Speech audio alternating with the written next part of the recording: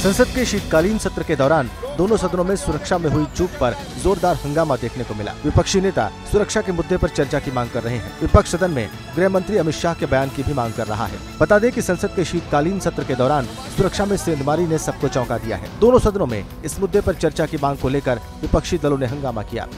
सदन में अनुशासन तोड़ने के लिए लोकसभा स्पीकर ने तेरह सांसदों को निलंबित कर दिया है। वहीं राज्यसभा से भी एक सांसद को निलंबित कर दिया गया। स्पीकर साहब ने जो निर्णय किया था तो उसके उल्लंघन करके प्लेकार्ड लेके वेल में आया है। इसलिए तेरह एमपीओ का सस्पेंशन आज हुआ है। विपक्षी सांसदों के निलंबन पर कांग्रेस ने केंद्र सरकार पर हमला बोला और सांसदों पर हुई कार्रवाई पर सवाल खड़े कर दिए।